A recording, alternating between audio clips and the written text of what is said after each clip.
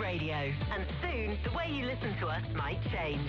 From the end of September, we'll no longer be available on AM across Sussex. So to continue listening in this area, you might need to retune your radio. You can keep listening to us on DAB digital radio or on your phone by downloading Global Player from your App Store. Alternatively, you can get us on your smart speaker. Just ask it to play smooth.